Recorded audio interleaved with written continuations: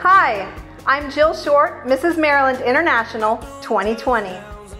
Born in California to missionary parents, I lived much of my childhood in the beautiful but primitive Pacific Islands of Micronesia.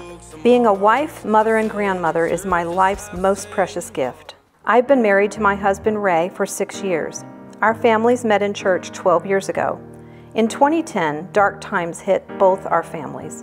Ray's sweet wife passed away suddenly. That same year also brought me an unfortunate, painful divorce.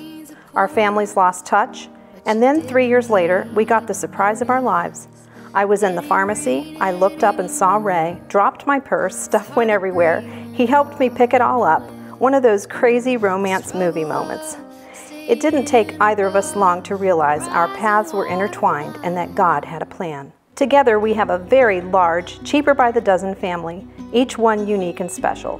Only two still live at home, but we're reminded just how big our family is when we all get together for our annual family ski trip. These babies of mine, and now my grandbabies, are my heart. In March, Devin and I had the privilege of competing at the Maryland International Pageant, which turned out to be one of the greatest experiences we've ever had together. Outside the home front, I'm a business owner, an author and speaker, and a medical and court interpreter translator of three Micronesian languages. My work takes me all over the U.S. and beyond, and I could not love it more. After undergoing domestic abuse many years ago, despair stripped me and my children of hope. Through proper care and healthy coping skills, I've learned to thrive once again. I went on to pursue my degree in counseling theology and to become a CASA.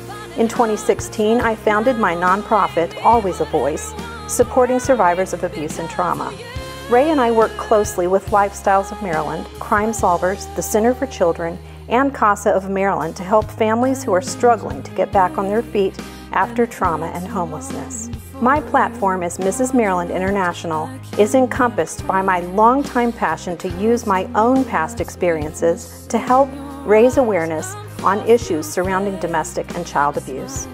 As Mrs. Maryland, I will continue to advocate for teens through breakout sessions on teen dating violence and to donate empowering books and resources to children who have been removed from their homes due to abuse and neglect and are now in foster care. I'm so thankful for the love and support of my family and for this opportunity of a lifetime to serve my community and represent my beautiful state of Maryland at Mrs. International this July.